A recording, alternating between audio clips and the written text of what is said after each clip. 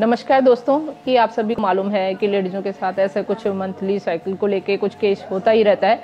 तो मेरा भी इस तरह का कुछ प्रॉब्लम था जो कि मैं आपसे शेयर करना चाहती हूँ। जैसे कि पीरियड्स का लेट आना या मुझे काफ़ी पेन वगैरह फील होती थी। तो इसके लिए फिर मैंने मुझे कोई टोस्ट डिस्ट्रीब्यूटर से मुझे जानकारी मिली। उन्होंने मुझे एक, एक प्रोडक्ट बताया जो उसका नाम है सुंदरी जीवन।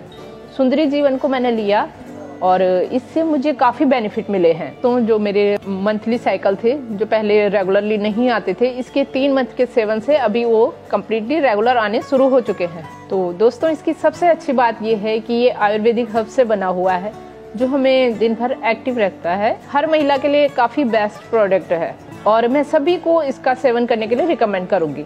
अल्टोस को इस प्रोडक्ट के लिए दिल से थैंक्स करना चाहूँगी। Thanks to Altos.